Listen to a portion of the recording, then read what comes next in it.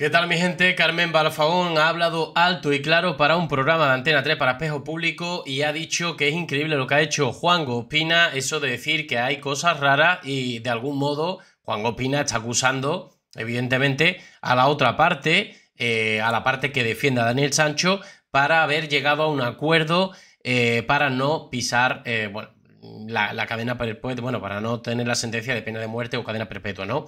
Y no pisar muchos años en la cárcel, que era lo que iba a decir en Tailandia, poder ser traspasado a España, trasladado a España, en fin, vamos a ver qué es lo que habría dicho y vamos a ver también un articulito sobre Franco Echa que arremete duramente contra eh, la familia Sancho por lo que, eh, lo que habrían hecho supuestamente que sería comprar al juez, ¿no?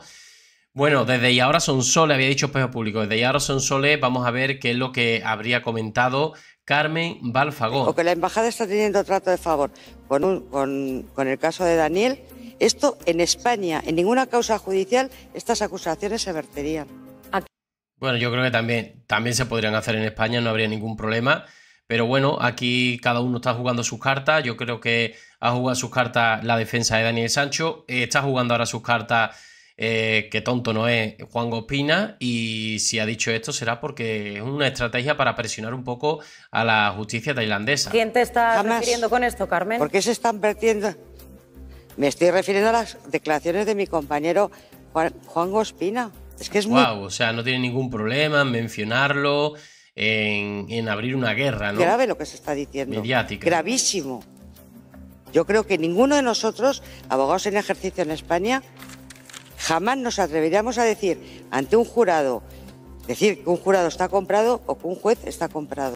La verdad que es verdad que Juan Gospina se está arriesgando mucho. Al final, si el día 29 de agosto él está en Tailandia, no sé si incluso pueden tomar represalia. De hecho, es algo que él sabe perfectamente, que ya advirtió el juez tailandés, que cualquier persona que, bueno, dañase el honor, faltase el respeto, sacase en imágenes del interior podría ser, eh, bueno, que podría quedar preso, ¿no?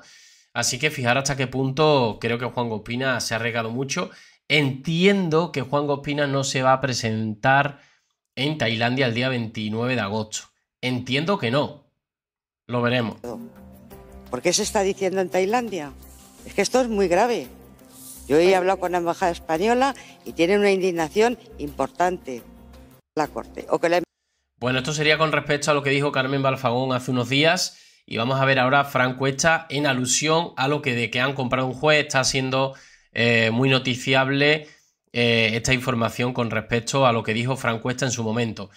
Bueno, como sabéis, Frank Cuesta, más conocido como Fran de la Jungla, es conocido por varias cosas, entre ellas el naturalista, entrenador de tenis, youtuber, y es una persona que no tiene pelos en la lengua ni miedo a expresar su opinión, por muy controvertida que sea, esta vez ha sido eh, ha ido por Daniel Sancho y su familia y es que hace pocos días Cuesta dio su opinión sobre el caso de Daniel Sancho, alegando que las opciones de este son eh, limitadas, cadena perpetua o en el peor de los casos la pena de muerte. Para saber el veredicto final deberemos esperar ya que el proceso legal tailandés puede ser impredecible y prolongarse durante años. Franco está ha cuestionado varias veces las decisiones de la familia de la defensa de Sancho, además de la actitud de su familia. En concreto, Cuesta ha hecho referencia a la eh, prepotencia que la familia de Daniel Sancho mostró en su documental HBO. Ha sido muy crítico. Nosotros también hemos sido. Creemos que, es lógico que, él haga un documental, que quiera eh, facturar, porque al final le hace falta muchísimo dinero para intentar salvar a su hijo lo máximo posible. Y también entiendo que tiene que pagar una pena eh, si algún día quiere, quiere ser eh, encarcelado, desencarcelado, mejor dicho, ¿no? Escarcelado, perdón, escarcelado. Eh, entiendo, entiendo que de algún modo para ser escarcelado tiene que pagar una cuantía económica bastante grande, entonces entiendo que tiene que hacer dinero, pero no a cualquier precio, es decir, aquí no hay dos víctimas, como decía Rodolfo Sancho. Bueno, donde hicieron ciertos comentarios refiriéndonos a HBO que el naturalista consideró desafortunados hacia la víctima, Edwin Arrieta. Otro ejemplo, bueno, con, lo, con ese, ese, comentario de ese tipo, ¿no?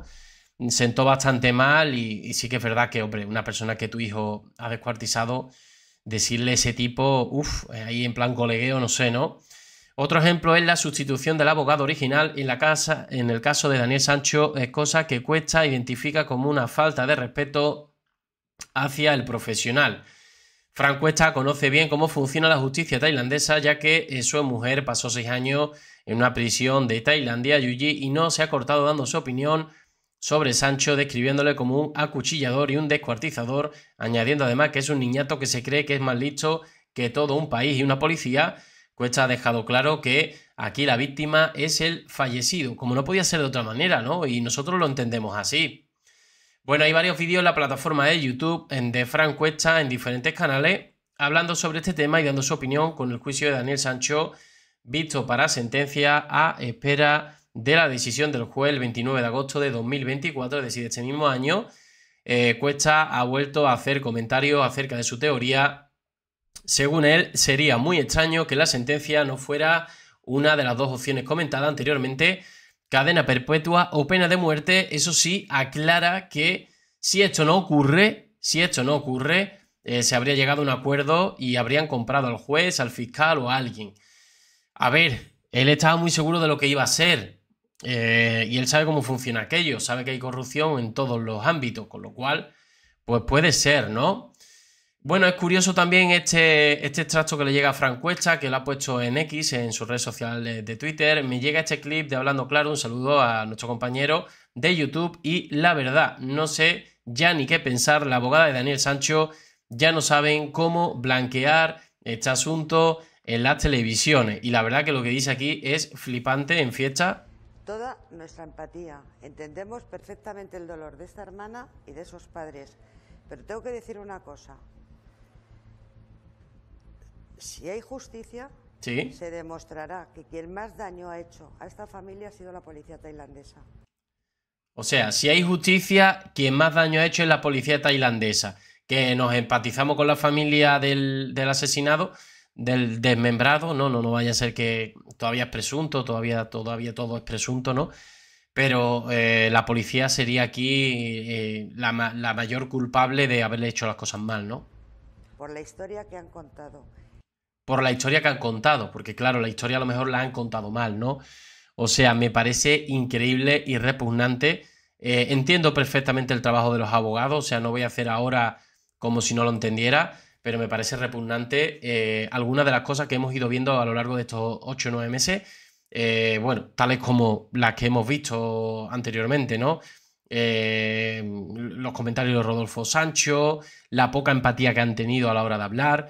Recuerdo una vez Carmen Barfagón diciendo, hombre, que es que solo lo ha desmembrado, pero es que ya estaba muerto. Hombre, perdona, solo lo ha desmembrado. Yo me quedé con ese clip eh, muerto, eh, nunca mejor dicho. Digo, que solo lo ha desmembrado, hombre, que tampoco ha hecho nada malo, es que ya estaba muerto. Y yo, wow, eh, o sea, yo me imagino que, están hablando de algún familiar y esto sería increíble, ¿no? En fin, mi gente, lo vamos a dejar por aquí. Dejen vuestros comentarios siempre de forma respetuosa. Invitaros a suscribiros que es totalmente gratuito. El like me ayuda muchísimo al canal. Y campanita importantísimo, mi gente. Me lo dejáis en comentarios quien se haya suscrito hoy. Mi gente, nos vemos en el siguiente vídeo. Un saludo.